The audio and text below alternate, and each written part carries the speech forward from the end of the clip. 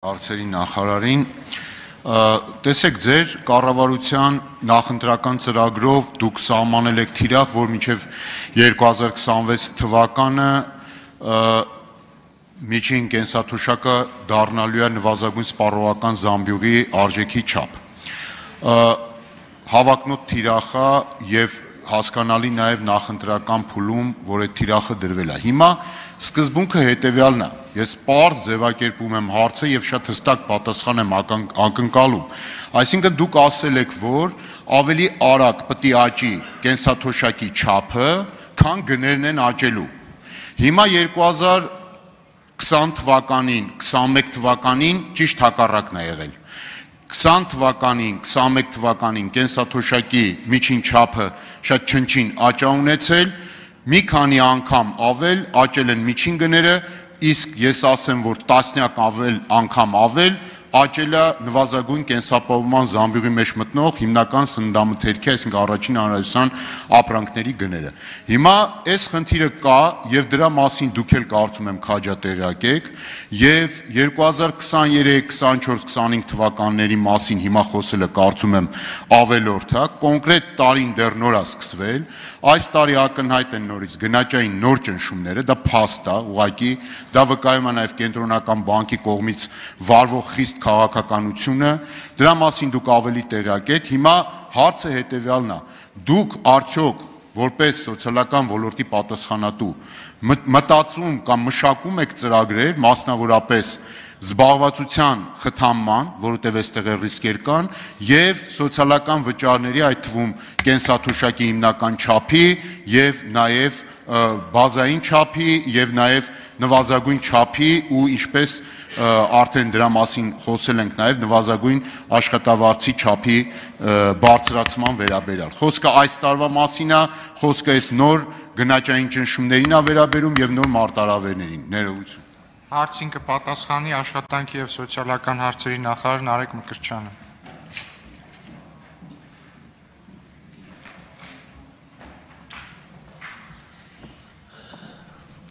Պարոն Ավետիսյան, շնորհակալություն հարցի համար։ Մենք առիթ ենք ունեցել այս թեմայով մի քանի անգամ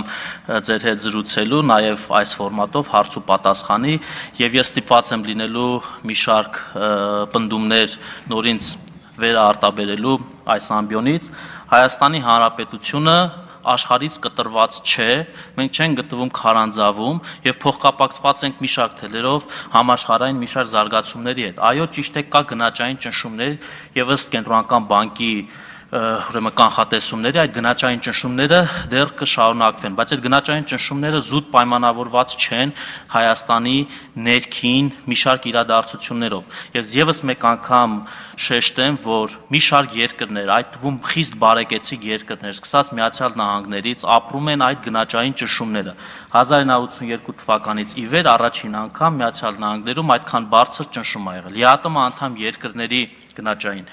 ԵԱՏՄ անդամ երկրների շարքում մենք ամենակիչ գնաճն ունեցող երկրներից ենք։ Հարցին թե արդյոք կառավարությունը մտածում է, այո, կառավարությունը մտածում է եւ յուրաքանչյուր նոր քաղաքականություն, որը կբերի սոցիալական վճարների բարձրացման պետք է բխի մեր երկրի ֆինանսատնտեսական եւ մակրոտնտեսական ցուցանիշներից։ Հետևաբար աշխատանքի եւ սոցիալական հարցերի նախարարությունը ուղիղ գնաճ ճնշելու գործիքակազմ չունի եւ յուրաքանչյուր նոր քաղաքականություն պետք է մենք այսպես հոլիստիկ մոտեցում ցուցաբերենք եւ ֆինանսների նախարարության հետ քննարկելով եւ էկոնոմիկայի նախարարության հետ քննարկելով լուծումներ գտնելու համար։ Այո, քննարկումներ կան եւ մենք նույնպես մտահոգված ենք ստեղծված իրավիճակով եւ այդ քննարկումների արդյունքում կհասկանանք թե 2000 21-26 թվականի կառավարության ծրագրի մեր ուղենիշները, որ սահմանված է, որին մենք անպայման կհասնենք, ավելի շուտ կարող ենք անդրադառնալ այդ ցուցանիշներին, թե ոչ,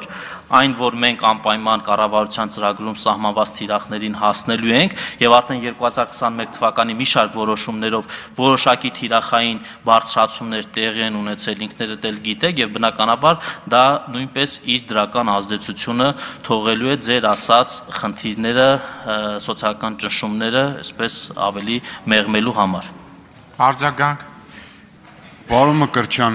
ձեր պատասխանը իմ հարցին չէր վերաբերում եւ կարծես թե ոչ թե աշխատանք եւ սոցիալական հարցերի նախարար, այլ օրինակ ֆինանսների նախարար կամ կենտրոնական բանկի նախագահն էր պատասխանում։ Պարզա, ով է ձեզ ասում գնաճը ճնշեք։ Գնաճը կա փաստա, լավ վատ պայքարում է կենտրոնական բանկը։ Խնդիրը հետեւյալն է, ձեր առաջարկած ծրագրում շատ կոնկրետ է։ Սկզբունքը հետեւյալն է, առաջանցիկ ավելի արագ պետք է աճի կենսաթոշակը, նպաստը, նվազագույն աշխատավարձը, քան գները։ Հիմա 2 տարի այդպես չի։ Այս երրորդ տարին է, եւ այս երրորդ տարին 22 թվականը ցավոք սրտի սկսել է նոր ռիսկերով։ Հիմա խնդիրը այն է, այն չի, որ անընդհատ քննարկեք։ Դուք անընդհատ քննարկում քննարկում եք, մարդիկ ամեն օր խանութ են մտնում ու չեն կարողանում նույն միայնակ կենսաթոշակառուները, աղքատ ընտանիքի երեխայի ծնողը ավելի վատ առևտուրա կարելի քիչ առևտուրա կարում անի ամեն հաջորդ ամիս, քան նախորդ ամիս։ Արագ գործողություններ են պետք, իդեպ օրինակ Ռուսաստանի Դաշնությունը թե հունվարի 1-ին է բարձրացրել թոշակը, թե նաև պատերազմի մեջ գտնվելու ընթացքում նաև հիմա է նախատեսում սոցիալական վճարների բարձրացում։ Այդպիսի օրինակներ ԵԱՏՄ-ում շատ կան։ Խոսքը սրան է վերաբերում։ Պարոն Ավետիսյան, մենք նույնպես բարձրացումներ իրականացրել ենք։ Ես այնքան եմ ուրեմն այդ օրինակները ստիպված եւ այս ամբիոնից եմ բարձրացրել եւ ձեր